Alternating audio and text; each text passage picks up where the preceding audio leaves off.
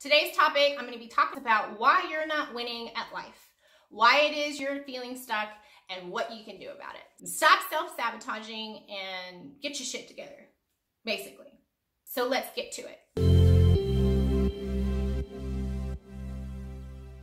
My name is Kesha Martin, and I'm a licensed therapist. Welcome to the channel. If you're new and stopping by, Today's topic, I'm going to be talking about why you're getting in your way and how to get out of your way. I think you'll find it helpful, so be sure you stick it out to the end and you'll have some serious questions you can begin to ask yourself to help propel you forward and help you get out of your own way. How many of you have said, I can't do it, but yeah, sure, maybe there are some things that you can't do that you're physically limited to doing, or maybe monetarily, absolutely. But what I'm talking about today is I'm talking about things that are within your control, in which you're not limited because of outside circumstances. So I hear a lot of people say, I can't, I just can't, I just can't. Okay, First of all, you got to get rid of that word can't. And I know people have probably heard that before, but stick it out. Let me explain. So when you say you can't do something, you're taking away your options and your choice for growth. And you limit your ability to see opportunities when they present themselves. So instead of saying, I can't, this is what I want you to work on. I want you to say, I don't know how. That gives you an opportunity to learn something. That gives you an opportunity to grow and to change and to shift. Let me give you an example. To school. I have too much going on. I've got this, I've got this, and I've got this, which all very well may be true. But what if you were to say, I don't know how to make the time to go back to school? What happens then? Well, your brain starts to spin and you start to plan and you start to think and you start to brainstorm. So you've taken that word can't out of your vocabulary and you've really empowered yourself to see the choices that are in front of you. Before I move on, if you're liking this content and you're finding it helpful, don't forget to like this video and subscribe to the channel so you don't miss any more videos. Moving on. Now, another thing I want you to start to think of is whatever goal you have in mind, ask yourself what makes it important to you to achieve that. So an example would be losing weight. I hear that one a lot. Well, what makes that important to you? Does it make it important to you to be accepted by other people? Does it make it important to you for your health? You're probably going to be more successful if it's more about your growth than it is about getting other people's approval. So really try to think about what is the reason this goal is important to me? Not for anybody else, but to me. Because when all is said and done, no matter where you go, there you are. So it might as well be something that's important to you. Now, the other question I want you to ask yourself is if I accomplish this, what is going to be different for me? So, is there something tangible that you can take away from meeting this goal? Or is it really just about how you feel about yourself? This is really important to identify. If you don't see the possibilities in the future, then you're not going to be motivated to follow through. How many of you out there have struggled with some of the things that I've mentioned? If it sounds like something you've dealt with, share that in the comments section. Now, another question you need to start asking yourself is, what will accomplishing this goal allow me to believe about myself? So, what messages are you sending yourself when you accomplish this thing or when you take that first step towards that goal and makes you feel proud and accomplished and capable? Moving on.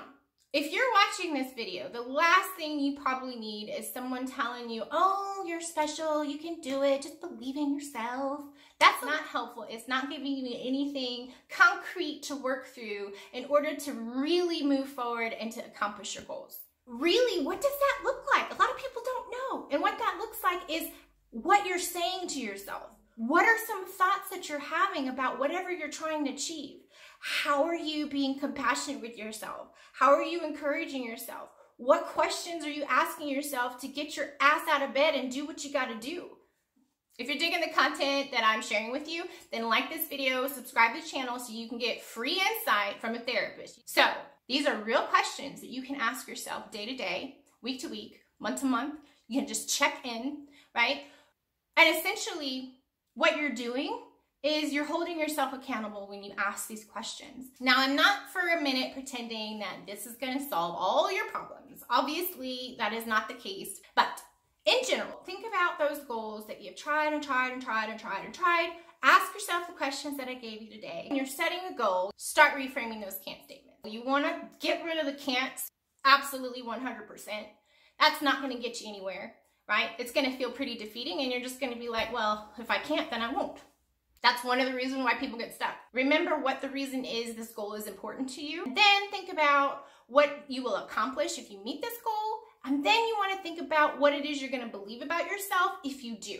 These are the questions you have to ask yourself if you're stuck and if you feel like you can't move forward. If you find that you're stuck with those questions, then that's where a therapist can help you identify what it is you're saying to yourself and help you reframe those automatic thoughts maybe or those statements that you tell yourself regularly that could be getting in your way. If you do decide to go to therapy, I got to tell you that you can't go to therapy expecting the therapist to give you the answers. That's not what we're supposed to do. We're not supposed to give you advice. We're not supposed to tell you what direction to take because when all said and done, you're responsible for your actions, for your choices, and for your life. And if you defer to your clinician or your counselor, who's then responsible for whatever choice you make?